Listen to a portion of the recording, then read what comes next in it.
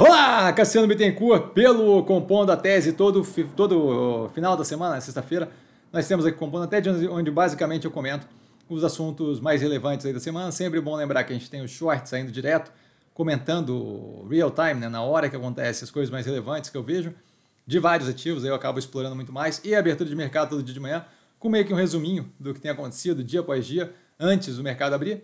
Tá? Aqui a gente tem um aprofundamento nas coisas que são mais relevantes efetivamente. Aqui embaixo na descrição desse vídeo a gente encontra ali os links para quem quiser aprofundar um pouco mais, até porque no final tem podcast e aí o link ajuda justamente a encontrar os podcasts. Sempre bom começar com um disclaimer que eu falo aqui nada mais é do que a minha opinião sobre investimento. A forma como eu invisto não é de qualquer forma, modo em geral, indicação de compra ou venda de qualquer ativo do mercado financeiro. Isso dito, a gente viu o Milley sendo eleito no domingo na Argentina. Tá, foi comentado a fundo aqui várias vezes já é, o, como para a gente, para o portfólio, pouco relevante, o máximo que pode ter ali na, opção, na, na, na operação que é mais vinculada ali é, com a Minerva de forma positiva, não negativa. Tá? A gente vê já a FMI, China, dizendo que está pronto para trabalhar com o Milley. Ele, que tinha toda uma retórica mais agressiva, já dizendo que o Lula seria bem recebido lá. Conversou com a China, agradeceu a carta que ele recebeu do Xi Jinping. É, falou com o Papa, que ele tinha ofendido de forma mais agressiva, ou seja, Retórica é uma coisa, o que, o que efetivamente se pratica é outra completamente diferente. Desemprego aqui no Brasil caindo de 8% para 7,7% trimestre contra trimestre, tá? do terceiro, do segundo pro, caindo do, do, do segundo trimestre para o terceiro trimestre desse ano. Tá? A gente vê ali muito mais um movimento de resiliência com alguma redução em alguns estados, mas em geral é estabilidade para direcionamento aí de redução tá? no, no, no na, na, qualidade ali do emprego. De qualquer forma, não deixa de ser um, uma demonstração aí de que a gente tem é, um mercado de trabalho resiliente aqui no Brasil que deve é, não não é um indicativo aí de que a gente não deva descambar é, para uma é, economia mais negativa aqui dentro do país. Tá? O que eu vejo como alinhado com o que a gente vem falando, certo? A, a contínua inflexão do macro, juros pressionado é, com uma política monetária mais apertada, mas ainda assim não afetando agressivamente, de forma muito negativa, a economia. Os índices que vêm tem vindo ali um delta negativo do IBCBR, mostram justamente algum efeito na economia dessa política monetária mais apertada e que deve, muito possivelmente, é, estimular a manutenção ou aumento da redução contínua dos juros. Risco Brasil atingindo 155 pontos, menor nível desde fevereiro de 2021. Tá? Então, novamente, mais uma aí muito mais da percepção do mercado com relação ao Brasil, mas a gente vê uma melhoria contínua dessa, desse indicativo ali de percepção.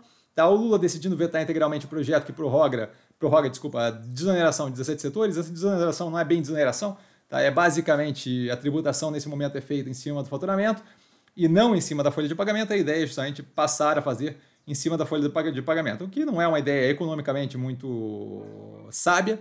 É, você está escolhendo onerar a, empregabilidade ao invés de escolher onerar o faturamento, ou seja, o ganho de fato monetário das empresas. Mas, assim, é, volta a reforçar. A ideia toda que se fala ali, que o Lula fala de economia, blá blá blá, que eu vou fazer o Enem para economia, é esse tipo de coisa que ajudar se soubesse economia.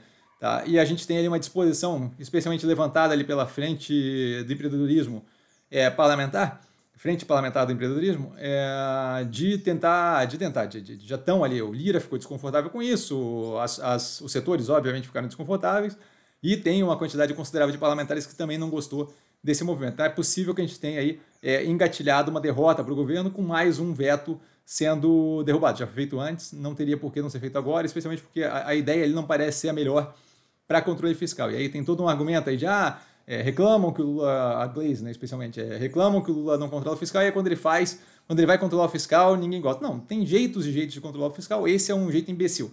Tá? O Lula indicando quatro nomes ali para o CAD, o que justamente a gente já tinha comentado antes, mas agora oficialmente, né, completando o colegiado ali do conselho, e liberando é, eles para efetivamente fazerem julgamento e voto ali, o que libera para a Minerva o andamento do processo da compra das 16 plantas e um centro de distribuição da Marfrig.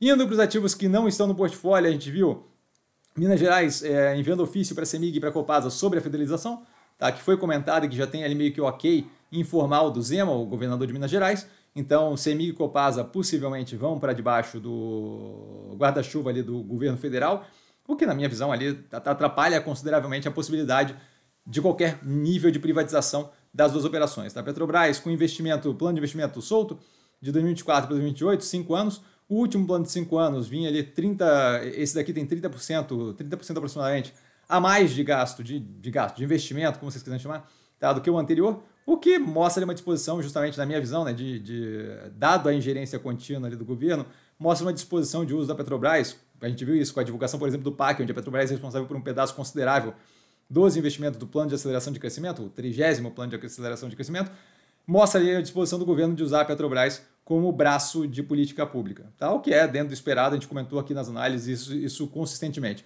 A mudança de presidente do Bradesco é, veio de supetão, é, não esperada por ninguém, imagino eu, tá? E não, não vejo como provavelmente problemática, mas acho que tem um oba-oba muito grande em cima de ah, mudou, agora vai para frente, dado que o problema do Bradesco é muito mais vinculado à carteira de crédito, que não é algo que se resolve com mudança de presidente. Aquilo ali tem que. O giro da carteira de crédito que faz com que aquilo ali efetivamente seja resolvido, quando tem a maturação dos empréstimos e, e a entrada de empréstimos novos que tenham, supondo a melhor qualidade, né, que a gente, eles estavam com alguma dificuldade de ter uma melhor qualidade nas novas safras, então, assim, acho que é, que é um oba-oba exagerado com relação à mudança de presidente. Se, se fosse uma questão de tomada de decisão estratégica, eu entendo, mas não é o caso. É o caso de modelagem de crédito e justamente as escolhas anteriores, anteriormente serem feitas, terem sido feitas com relação a empréstimo, que agora estão custando ali para a operação. Tá? Então não vejo muita mudança aqui não. Tá indo para os ativos do portfólio, a gente tem caso Bahia com a S&P rebaixando é, alguns degraus ali, né, a nota de, de crédito, isso muito causado pela sujeira no operacional financeiro desse trimestre, que foi dada justamente é, por uma corrida mais rápida ali para atacar as questões que eles tinham na reestruturação. Tá? Eu vejo daqui melhorando médio e longo prazo, porque esse resultado pontual não é provavelmente algo que você pode expandir para médio e longo prazo e considerar aquilo dali como sendo a nova realidade da operação. Tá? Então, acho que à medida que a gente tem é, no próximo trimestre algum efeito ainda é, dessa alteração rápida ali na, na aumento da velocidade da reestruturação, e que a gente comece a ver, é, obviamente, um horizonte com melhoria, dado que o mais grosso do, do, do, trabalho foi feito agora, a gente deve começar a ver justamente isso daqui arrefecer. Com relação a efeitos disso aqui com, no, que, no que tange Covenant, eu estou aguardando justamente a, é, se, se houver algo assim, algum tipo de manifestação pela parte da, é, da, da diretoria financeira da empresa, porque não tem simplesmente como saber cada minúcia de cada contrato de empréstimo, tá? Mas assim, é, não, não, não, a, a, operação, a tese de investimento continua sendo exatamente a mesma que do terceiro da análise do terceiro trimestre. Isso porque a mudança de rating é, pode vir, se for mantida a longo prazo, pode vir a encarecer é, tomada de capital médio e longo prazo. A gente está fazendo um movimento justamente no contrário, de reduzir a necessidade de capital de terceiros. É, mas assim, não afeta a entrada de cliente na loja, não afeta faturamento, venda, plano de reestruturação, nem nada disso. Tá? Então, é tese que segue como comentado no vídeo que está no canal terceiro trimestre. Passando aos podcasts, a gente tem o The Daily do New York Times, é, com um repórter que foi liberado, um grupo de repórteres que foi liberado para entrar em Gaza, um deles do New York Times. Tá? Então, a Reporter's Journey into Gaza. É, na sequência, a gente tem o The Journal do New York Times, do Wall Street Journal, desculpa, é, falando sobre a, o efeito transformacional dos drones desses que a gente tem, que, que compra em loja mesmo, DJI, esse tipo de coisa, drone, drone comercial, normal, tá? É, transformando o campo de batalha, então cheap drones are transforming the battlefield. É, na sequência a gente tem a Tectonic, que é, um, é uma, uma são episódios, são, são séries de, de podcast que vem do FT, do Financial Times, de tempos em tempos com um tema com relação à tecnologia diferente, esse Tectonic falando sobre AI. Então aqui é o primeiro, se não me engano, é o primeiro ou segundo episódio da série, mas dá para pegar a série toda no, no, no, no lugar que você usa para ouvir podcast sem nenhuma dificuldade. Tá? Esse episódio especificamente é Super Intelligent AI, The Doomers, falando justamente da galera que acredita que inteligência artificial vai levar a gente para um, um, um, um buraco, para extinção.